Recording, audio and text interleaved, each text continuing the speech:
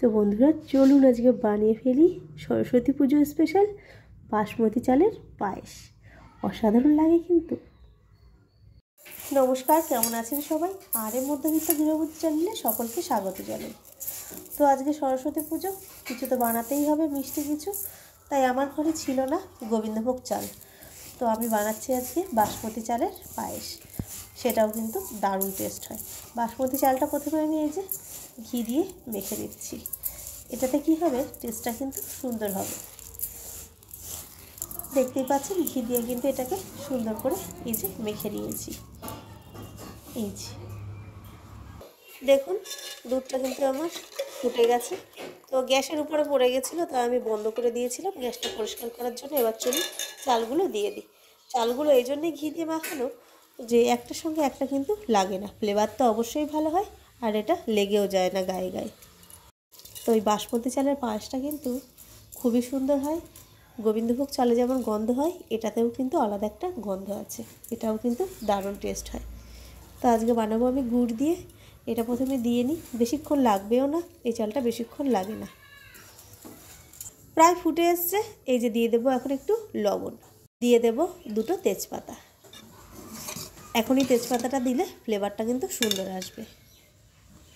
এই অবস্থায় গ্যাসটা কিন্তু আমরা সিম করে রেখে দেব। এতে কিন্তু জল দিয়ে আমি এটা প্যাকেটের দুধ, এই যে আমুল, এটা কিন্তু খুব সুন্দর গাঢ় থাকে লিকুইড কিন্তু গাঢ়। জল একটুও দিইনি, তো জল ছাড়াই কিন্তু আমি এটা করে নেব। আর এই অবস্থায় কিন্তু গ্যাসের আঁচটা একদমই সিম করে রাখব। তাতে করে কি হবে? দুধটা মানে কমে যাবে না, আর চালটা খুব সুন্দর সেদ্ধ হয়ে যাবে। তো বন্ধুরা দেখতেই পাচ্ছেন, কথা বলতে বলতে বেশিক্ষণ কিন্তু লাগে না। গ্যাসটা সিম করে দিলে এই যে আমার কিন্তু ভালো করে দেখতে পাচ্ছেন এই যে, চালটা কিন্তু সম্পূর্ণভাবে হয়ে গেছে। এটা কিন্তু খুব গলে গেলে একদম ভালো লাগবে না, আর দুধটাও কিন্তু পর্যাপ্ত পরিমাণে আছে। এই অবস্থা দিয়ে দেব আমি এই যে গুড়। গুড়টা তলায় না আটকে গেছে। তো উপরের ঝোলটুকু পড়ে গেছে আর তলারটুকু কিন্তু একদমই দানা দানাগুলো যেগুলো আটকে গেছে। এটা খেজুরের গুড় টেস্টটা কিন্তু খুব সুন্দর হয়। আর গন্ধটা আরও সুন্দর আনার জন্য অবশ্যই একটা টিপস আছে লাস্টে তো দেখতে থাকুন। তো বন্ধুরা, সেই টিপসটা বলার আগে অবশ্যই বলব, এখানে আমি দিয়ে দিলাম একটু পাউডার দুধ, গরম জলে গুলে, উষ্ণ গরম জলে গুলে পাউডার দুধ একটু দিয়ে দিলাম। একেবারেই লাস্টে টেস্টটা আরেকটু বাড়ানোর জন্য। না দিলেও হতো, কিন্তু আমি দিলাম, এতে করে কি হয়, টেস্টটা আরও সুন্দর হয়। আর যে লাস্টের যে টিপসটা, অসাধারণ কিন্তু। কোনো মতেই মিস করবেন না, দারুণ টেস্ট হয়, গন্ধটা স্বাদে গন্ধে পুরো ভরপুর হয়। এবার এই যে ড্রাই ফ্রুটস ইচ্ছা মতো দিয়ে দিতে পারেন। কাজু কিশমিশ পেস্তা, যা খুশি। তো আমি এখানে কাজু আর কিশমিশটাই দিলাম। পেস্তাটার অনেকই দাম, তাই জন্য আর ঘরে থাকে না, তাই আর দিতে পারলাম না। আর এই যে তেজপাতাটা অসাধারণ গন্ধ কিন্তু। একটু যদি কাঁচা মতো হয়, আরও কিন্তু দারুণ টেস্ট হয় কাঁচা তেজপাতা দিলে।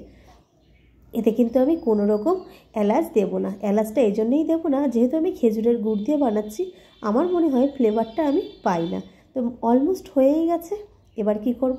এই যে যে টিপসটার কথা বলেছিলাম, এই যে গুড়, গুড়টা কিন্তু আমি এখন দেবো। এখন গ্যাসের ফ্লেমটা একদমই আমি বন্ধ করে দিয়েছি। এবার এই গুড়টা দিয়ে কিন্তু একদমই জ্বালাবো না। তো চলুন গুড়টা দিয়ে দিই। তো এখানে গুড়টা উপরে যে ঝোলটা ছিল মানে ঝোলা গুড় যাকে বলে, সেই গুড়টা দিচ্ছি। আর চাইলে আপনারা দানা গুঁড়ো দিতে পারেন, কোনো অসুবিধা নেই।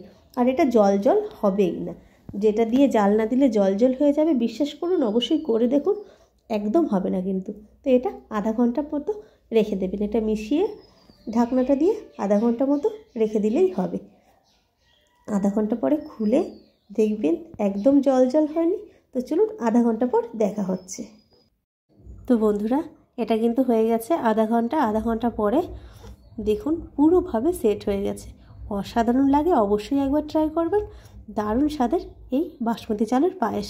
তো লাস্টে যেটা বললাম, ওই যে লাস্টে গুড়টা দিয়ে ওরকমভাবে রেখে দেবেন। খানিকক্ষণ পরে, আধা ঘণ্টা না হলেও পনেরো থেকে কুড়ি মিনিট পরে দিয়ে দেবেন। অসাধারণ লাগে, সত্যি বলছি, আবারও বলছি। তো চলুন, আজকের মতো এটুকুই। আবার একটা রেসিপি নিয়ে আপনাদের সামনে চলে আসব। টাটা।